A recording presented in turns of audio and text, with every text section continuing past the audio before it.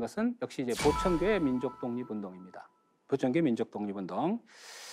아, 일제가 패망할 것을 예측을 했습니다. 조선 독립을 예측을 했습니다. 여러분 아까 일본의 공문서 자료들도 보면 전부 다 예측해서 활동을 하고 있습니다.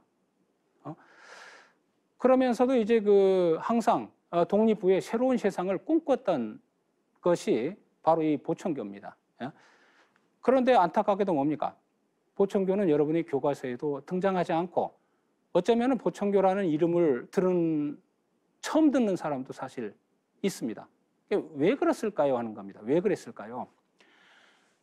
어떤 일본인은 이런 이야기를 합니다. 이 자료에도 저 오른쪽 자료가 있습니다만은 당시 어떤 이 당시의 그 세상 돌아가는 이야기, 1930년대 세상 돌아가는 이야기를 합니다.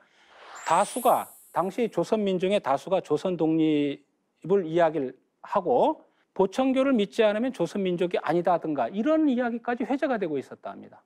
그런데 그 보천교에 대한 이야기는 여러분들이 뭐 지금 3.1 민족 독립 운동이 100주년이라고 했습니다만 100여 년간 사실은 왜곡되고 숨겨져 왔습니다. 이게 숨겨진 역사입니다. 전형적으로. 제가 이제 마지막으로 여러분들께 이야기하는 건 그 100년이 걸렸습니다. 100년이 걸렸고 그 100년이 걸린 것을 이제 일제강점기 민족 종교에 대한 어, 저는 자꾸 이제 식민주의적 제국주의적인 편견을 조금 이제는 버리자는 겁니다. 자, 이거는 뭐 보천교를 처음부터 끝까지 다 옳다라고 이야기하는 거 아닙니다.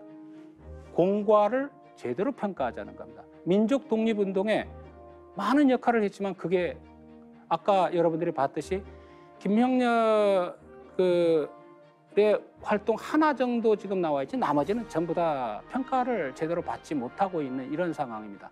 예, 그러한 것들이 제대로 평가받기를 어, 바라면서 제 강의를 마치도록 하겠습니다. 네, 감사합니다.